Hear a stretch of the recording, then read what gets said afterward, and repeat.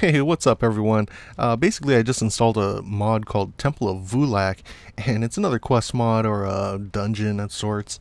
Uh, supposed to be pretty rough, but um, I just went to check it out, so yeah, here's how it went. Oh, a dead body. Freshly charred corpse. Um, alright. Whoa, whoa, whoa, wait a, wait a minute, wait a minute. As you desire. We'll see. Oh, man, alright. Whoa, whoa, whoa. Hey, hey, hey.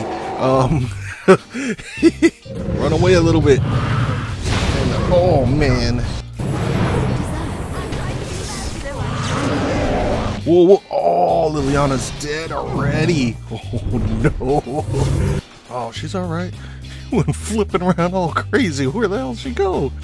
As you desire. Oh, he's just playing with her. She's dead. And she's dead. Oh no. Who, who, who? These guys?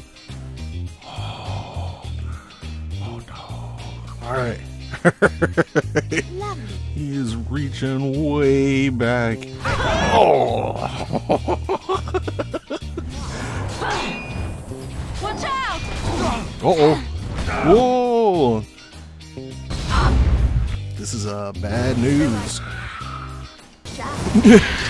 oh no, she's dead. She needs a drink as well. Oh.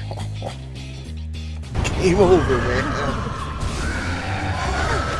Well, that was a quick look at uh, Temple of oh, Vulak. Um, yeah, I think uh, I think I'll probably be checking this one out a little bit more.